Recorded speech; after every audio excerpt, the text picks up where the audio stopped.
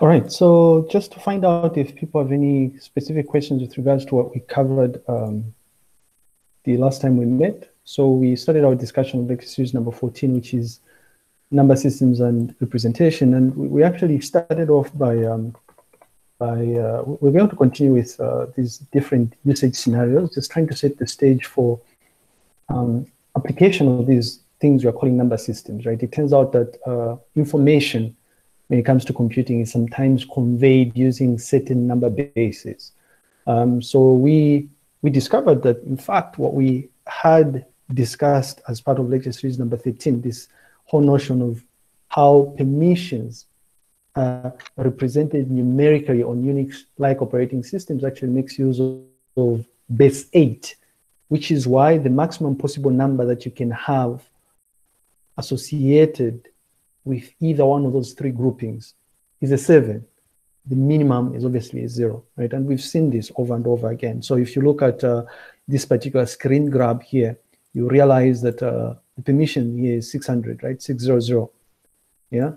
Uh, we discovered that the maximum possible permission that you could have is a triple seven, right? Which means everybody has read, write, and execute access, right? So just setting the stage here, and then we also um, uh, highlighted the fact that uh, some of these errors that we get to come across when we are using um, our devices or computer systems. Um, Allah, we latched onto the so-called Windows blue screen of death, right? Usually this um, this memory dump, um, which which you have access to, will have a hexadecimal representation there, right? So these are different use cases, and, and of course, uh, it's unfortunate that you haven't really started looking at computer networks and the internet, but very, very soon you discover that the representation of so-called IP addresses, right?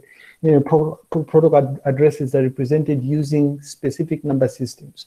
For instance, IPv4 uh, uses so-called dotted decimal notation, right? Where each one of these different groupings is, so the 127 is a decimal number, right? Zero is a decimal, zero is a decimal, one is a decimal, right?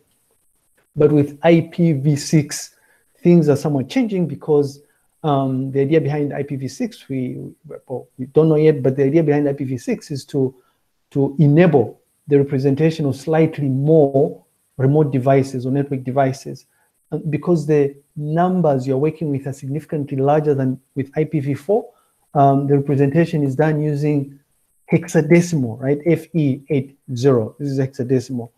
Um, right? But it turns out that there's there's actually more things here. And, in fact, I'm, I'm, sure you've you've seen these on your devices. Sometimes when you access, uh, hmm, anyway, when you access your phone, uh, your about, uh, you you go to your about is it the settings and then about you notice that you see strange things like um, i don't know if people have bothered to look at things like um, mac addresses for instance right if you check this is it the stat status or it's a status right so you go to about and then you go to your status in my case it's on the status um, you have access to so-called ip uh, to so-called um, uh, MAC addresses, right? Your MAC address is represented using hexadecimal format. And there's more, right? There's more. Uh, very, very soon, perhaps in third year, you discover that certain nifty tools like uh, version control software, such as uh, Git or Mercurial, for instance, will typically represent the commit messages using, uh, I don't know if this is base 36, I think. Should be base 36, but this is a um, SHA-1 hash, right? It's a crypto cryptographic hash but these numbers that you're seeing here up on top there, these numbers here, this string here, this is represented using a certain type of number system, right? And if you think about it, you can easily you can easily figure out what what sort of number system or, or the, the, different types of characters that are being used here. You notice here that the range of characters that are being used simple, right? It's uh it's A through Z, right? All lowercase, and 0 through 9. If you count these, it's 26 plus 10, which is 36, right? This is what you have here. And I can showcase, I guess, a simple example uh, so that people kind of like uh, get a sense of what we're talking about here. I don't know if you can see my screen. Yes, we can. Yes, sir. Yeah. Right. So, uh, I mean, this is what I'm talking about here. If you look at the pattern here, the pattern associated with commit here, all these commit messages here, commit one, commit two here, you notice that there's a pattern here. It's numbers and lowercase alphabetic, uh, alphabetical characters, right? English characters, characters from the English alphabet, all lowercase. Um, and the combination of all these different characters is 26 plus, plus 10, right? Because the numbers you're, you're playing around with here is 0 through 9, if you notice. In here you have 3, 7, 8, 7, 8, 7, 1, 3, 3, 8, 1, 7, 1, 9, 7, 9, 5, 0, 3, 9, 3, right? So um, all classic examples of how uh, of how uh, these different bases or numbers tend to be used, right? Um, and it turns out really that uh, this has a very powerful use, by the way. Uh, for a, a, particular repository that you work with, each of these commit messages is essentially uh, unique, right? It's a unique representation of the save point you're working with.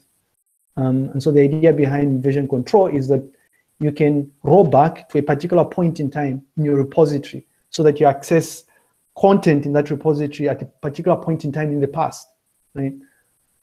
Um, or because of the power of, I guess, commit messages that are represented in, in this case, it's base 36.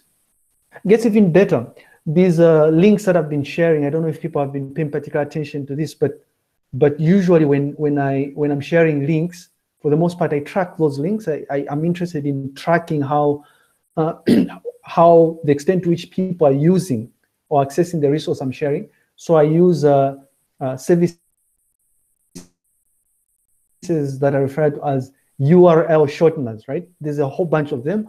There used to be a Google URL shortener called Google.gl, right? It's it's now defunct. It's been phased out. Um, I've replaced. I've since replaced it personally myself with Bitly, right? But there's more out there. There's Tiny URL. Um, so the idea behind this is that if you have the long URL, right, uniform resource locator, what you can do is what you can do is you can shorten it so that so that people can easily share that resource rather than you sharing something that is going to be multiple characters long like this right? Instead of me sharing this link here yeah? This link here which is long right? Very long. What i do is i shorten it using bitly and then what i do is i share this. So this what you're seeing in line number 10 is the equivalent of this long link here, right?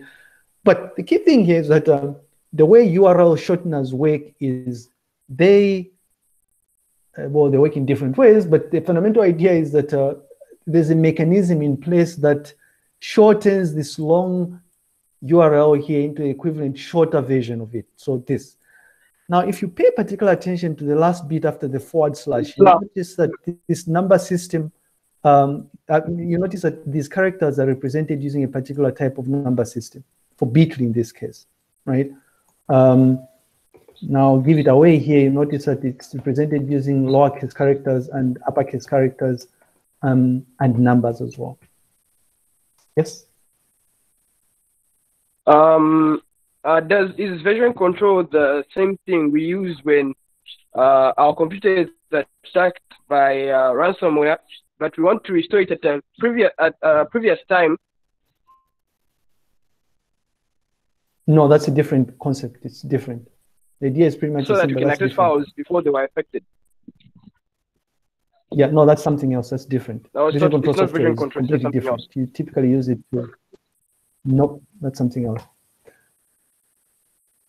But the idea is the same. What you're interested in is a, a, restore point, right? A particular point in time that you want to go back to but it's, it's completely different from what we're talking about here.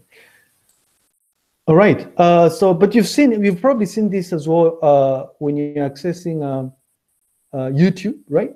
So, if I go to YouTube, for instance, um, and I try to access, uh, I don't know what to access here, but well, uh, guess can I access uh, Love and Monsters? I don't know.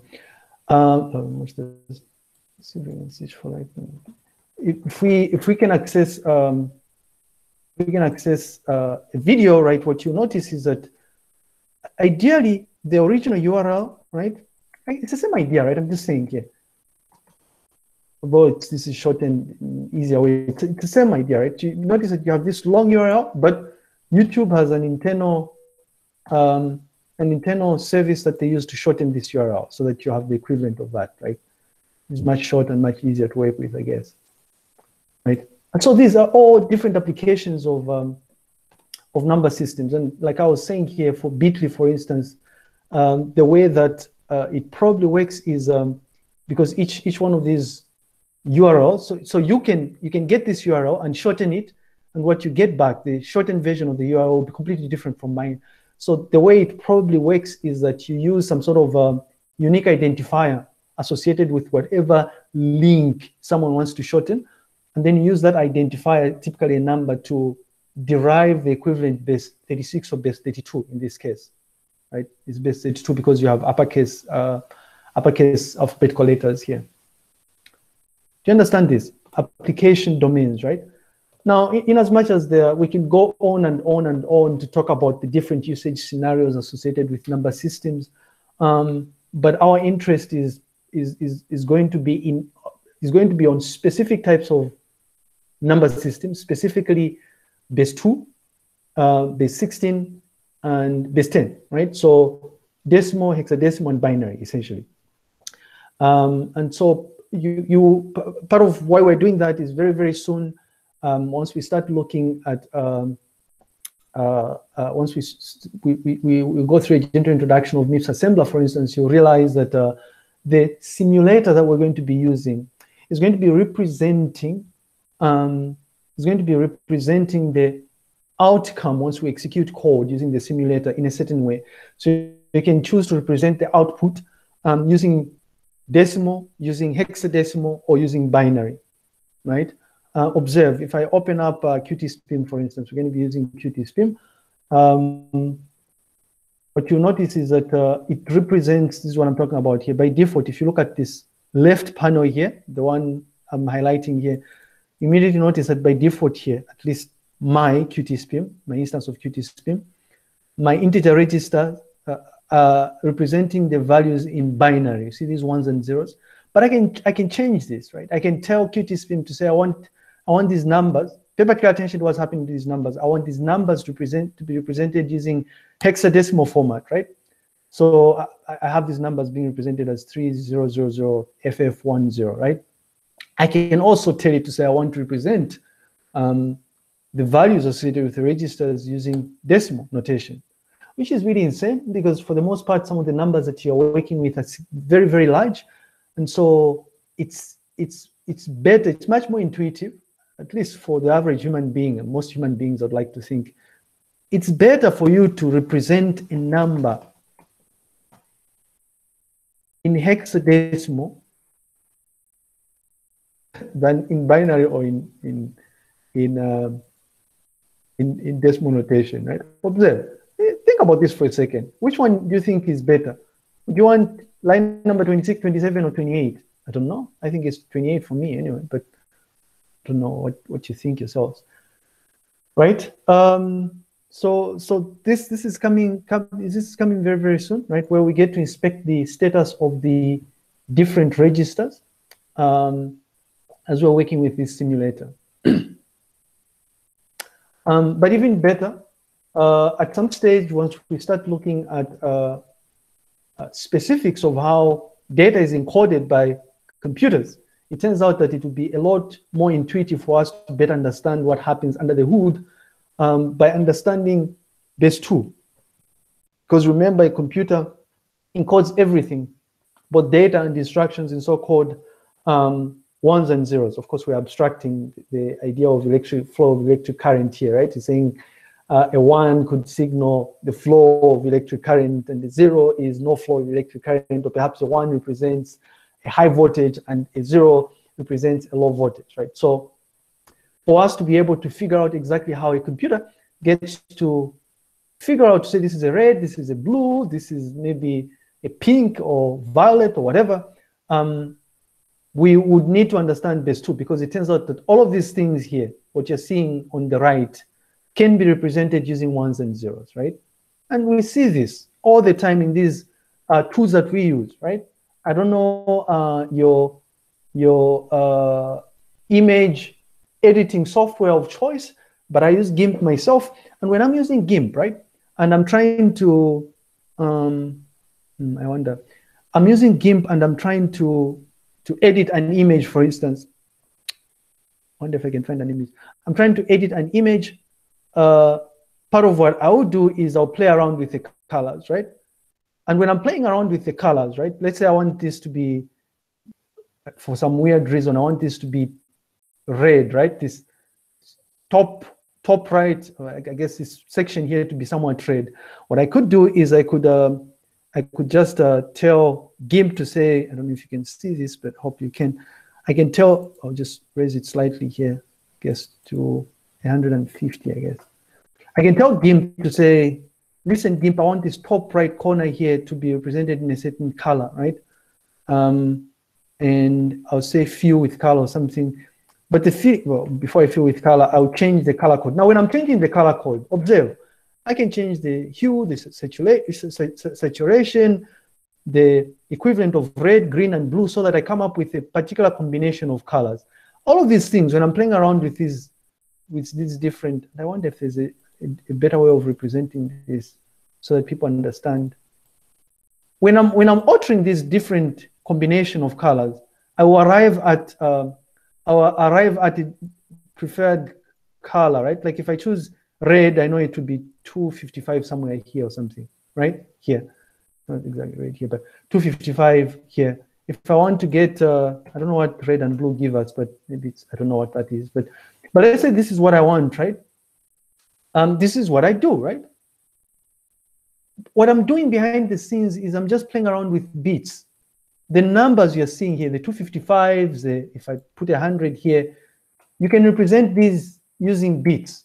But it turns out that because a human being would typically be the one working with this sort of software, these numbers are represented in decimal, right? So this is a decimal number here, but this decimal number can pretty much be represented as ones and zeros, depending on the bit depth. Maybe if you're using um, a, a, bit depth of eight, then the then the number here instead of 255, I don't know what the maximum is, but the number here will be represented, the maximum number that you have here will be representative of the bit depth that you're working with. Key takeaway point here is that data and instructions are, are perceived by a computer um, as ones and zeros, base two.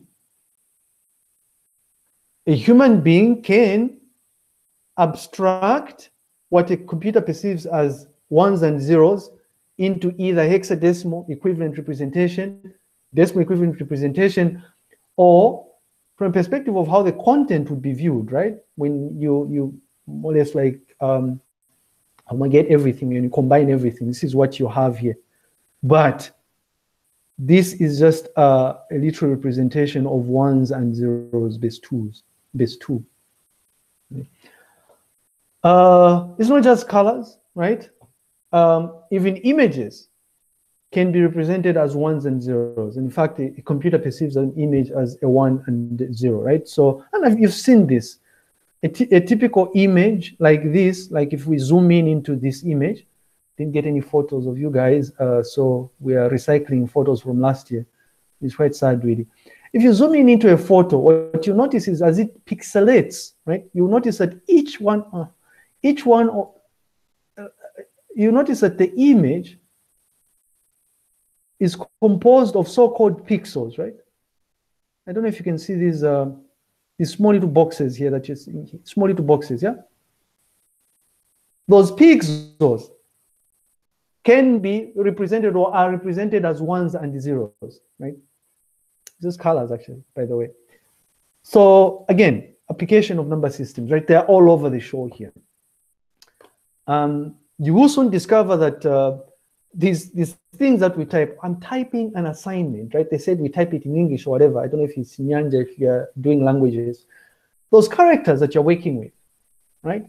Those characters that you're working with can be mapped onto the equivalent binary representation, the equivalent of what a computer sees. It's not like a computer sees an A. When you type an A, right? When you type A, I'm typing ICT. The computer doesn't see I, doesn't see C doesn't see T. What a computer sees is when it sees uppercase I, it sees the equivalent of either 73 base 10 or 49 base 16, right? In fact, what a computer sees, when you type I, the computer sees that I as being, me just change this to numerical representation, uh, 49. What a computer sees is this.